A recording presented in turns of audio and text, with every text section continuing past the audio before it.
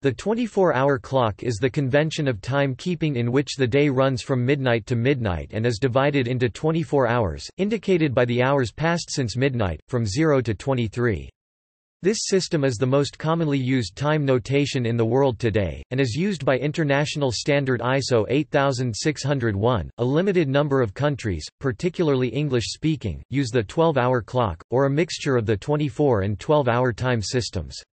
In countries where the 12-hour clock is still dominant, some professions prefer to use the 24-hour clock. For example, in the practice of medicine the 24-hour clock is generally used in documentation of care as it prevents any ambiguity as to when events occurred in a patient's medical history. In the United States and a handful of other countries, it is popularly referred to as military time.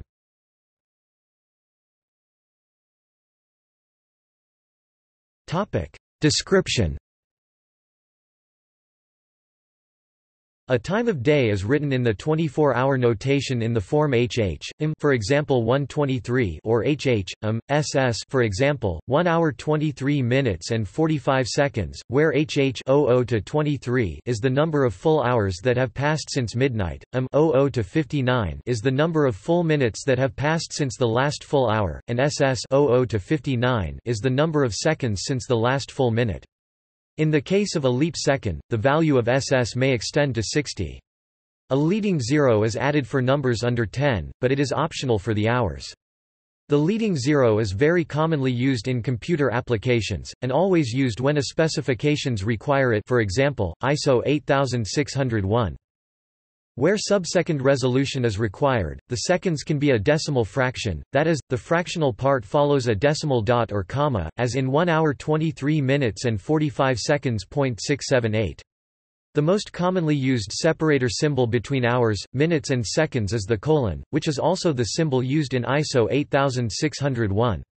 In the past, some European countries used the dot on the line as a separator, but most national standards on time notation have since then been changed to the international standard colon.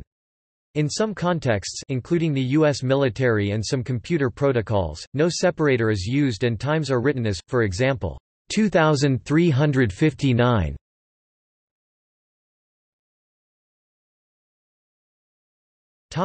Midnight 0 and 2400 In the 24-hour time notation, the day begins at midnight, 0000, and the last minute of the day begins at 2359.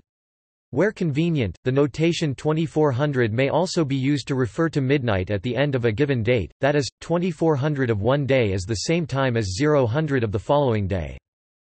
The notation 2400 mainly serves to refer to the exact end of a day in a time interval.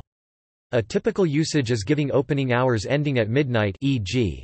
0000 to 2400 7 o'clock to 2400 Similarly, some railway timetables show 0000 as departure time and 2400 as arrival time. Legal contracts often run from the start date at 0000 until the end date at 2400.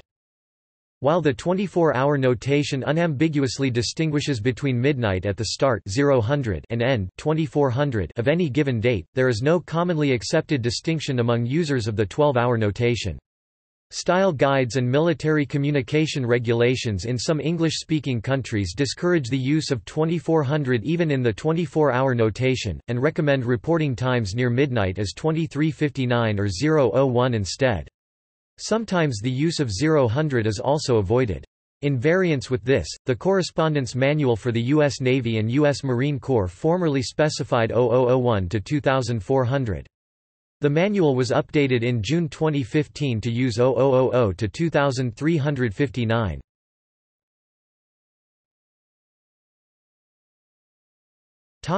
Times after 2400 Time of day notations beyond 2400 such as 2401 or 2500 instead of 001 or 1 o'clock are not commonly used and not covered by the relevant standards. However, they have been used occasionally in some special contexts in the UK, Japan, South Korea, Hong Kong and China where business hours extend beyond midnight, such as broadcast television production and scheduling.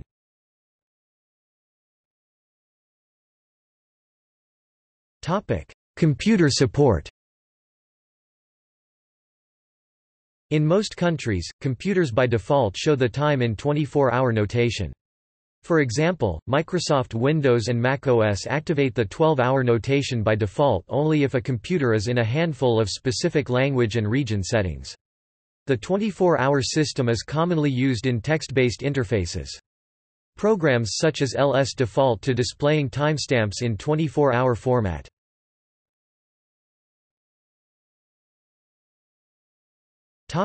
Military time In American and Canadian English, the term military time is a synonym for the 24-hour clock. In these dialects, the time of day is customarily given almost exclusively using the 12-hour clock notation, which counts the hours of the day as 12, 1, 11 with suffixes a, m, and p, m, distinguishing the two diurnal repetitions of this sequence. The 24-hour clock is commonly used there only in some specialist areas military, aviation, navigation, tourism, meteorology, astronomy, computing, logistics, emergency services, hospitals, where the ambiguities of the 12-hour notation are deemed too inconvenient, cumbersome, or dangerous. Military usage, as agreed between the United States and Allied English-speaking military forces, differs in some respects from other 24-hour time systems. No hours, minutes separator is used when writing the time, and a letter designating the time zone is appended for example, 0340Z.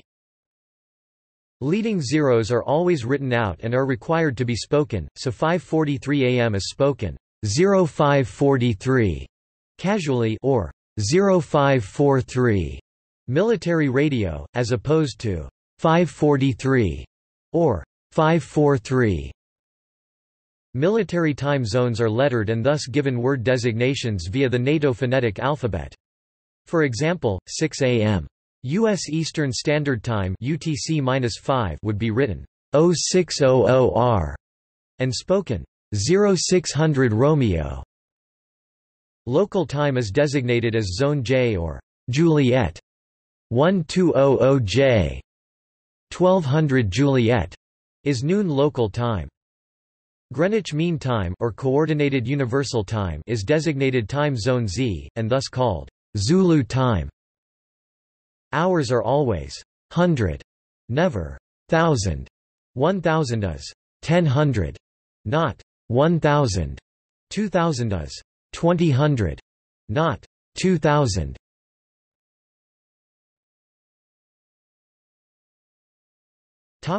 History The 24-hour time system has its origins in the Egyptian astronomical system of decans, and has been used for centuries by scientists, astronomers, navigators, and horologists. In East Asia, time notation was 24-hour before westernization in modern times. Western-made clocks were changed into 12 dual hours style when they were shipped to China in the Qing dynasty. There are many surviving examples of clocks built using the 24-hour system, including the famous Orloj in Prague, and the Shepherd Gate clock at Greenwich. The first mechanical public clocks introduced in Italy were mechanical 24-hour clocks which counted the 24 hours of the day from one half hour after sundown to the evening of the following day. The 24th hour was the last hour of daytime. However, striking clocks had to produce 300 strokes each day which required a lot of rope, and wore out the mechanism quickly, so some localities switched to ringing sequences of 1 to 12 twice 156 strokes, or even 1 to 6 repeated 4 times 84 strokes. After missing a train while travelling in Ireland in 1876 because a printed schedule listed p.m. instead of a.m., Sir Sandford Fleming proposed a single 24-hour clock for the entire world, located at the centre of the Earth, not not linked to any surface meridian, a predecessor to Coordinated Universal Time. He was an early proponent of using the 24-hour clock as part of a program to reform timekeeping, which also included establishing time zones and a standard prime meridian. The Canadian Pacific Railway was among the first organizations to adopt the 24-hour clock. At midsummer 1886, at the International Meridian Conference in 1884, Lewis M. Rutherfurd proposed, that this universal day is to be a mean solar day, is to begin for all the world at the moment of midnight of the initial meridian coinciding with the beginning of the civil day and date of that meridian, and is to be counted from zero up to 24 hours. This resolution was adopted by the conference. A report by a government committee in the United Kingdom noted Italy as the first country among those mentioned to adopt 24-hour time nationally, in 1893. Other European countries followed, France adopted it in 1912 the French Army in 1909, followed by Denmark 1916, and Greece 1917. By 1920, Spain, Portugal, Belgium, and Switzerland had switched, followed by Turkey 1925, and Germany 1927.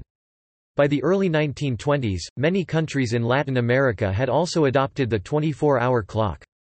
Some of the railways in India had switched before the outbreak of the war. During World War I, the British Royal Navy adopted the 24-hour clock in 1915, and the Allied armed forces followed soon after, with the British Army switching officially in 1918.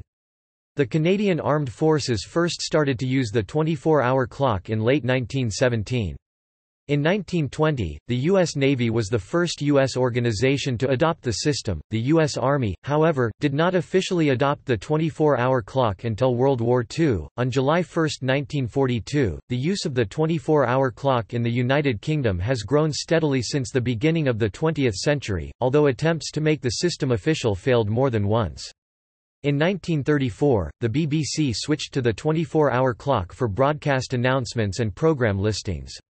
The experiment was halted after five months following a lack of enthusiasm from the public, and the BBC continued using the 12-hour clock. In the same year, the U.S. Airlines Pan American World Airways Corporation and Western Airlines both adopted the 24-hour clock. In modern times, the BBC uses a mixture of both the 12-hour and the 24-hour clock. British Rail and London Transport switched to the 24-hour clock for timetables in 1964.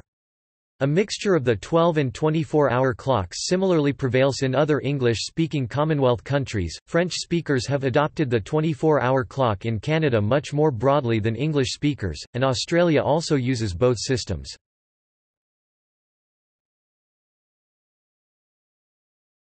Topic: See also 24-hour analog dial Traditional Chinese timekeeping Clock. Date and time representation by country. Decimal time. List of military time zones. 6-hour clock. 12-hour clock. Metric time. Time